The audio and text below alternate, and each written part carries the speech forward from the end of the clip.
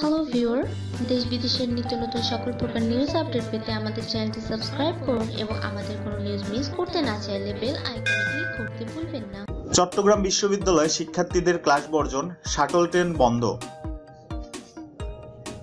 কোটা সংস্কার দাবিতে আন্দোলনরত ঢাকা বিশ্ববিদ্যালয়ের শিক্ষার্থীদের উপর হামলার প্রতিবাদে ক্লাস বর্জন করেছেন চট্টগ্রাম বিশ্ববিদ্যালয়ের শিক্ষার্থীরা। এই কোটা সংস্কার দাবির প্রতি পূর্ণ সমর্থন জানিয়ে তারা তাদের এই কর্মসূচি চালিয়ে যাবেন বলেও জানান। এদিকে ক্লাস বর্জনের পাশাপাশি বন্ধ রয়েছে বিশ্ববিদ্যালয়গামী শাটল ট্রেন চলাচল। শিক্ষার্থীরা ষোলো শহর এলাকায় জড়ো হয়ে ট্রেন অবরোধ করে বিক্ষোভ করছেন। বিষয়টি নিশ্চিত করেছেন ষোলো শহর রেলওয়ে পুলিশ ফাঁড়ির ইনচার্জ জাকির হোসেন। তিনি বলেন, আন্দোলনরত প্রায় শতাধিক শিক্ষার্থী কোটা সংস্কার দাবিতে শাটল ট্রেন অবরোধ করে রেখেছেন। সকালে সব ট্রেন ছেড়ে গেলেও অবরোধের কারণে সকাল দশটা চল্লিশ মিনিটের বিশ্ববিদ্যালয়গামী ট্রেনটি ষোলো শহর স্টেশনে অবস্থান করছে। অপ্রীতিকর পরিস্থিতি এড়াতে বিপুল পরিমাণ পুলিশ সতর্ক অবস্থানে রয়েছে বলে তিনি জানান। ধন্যবাদ।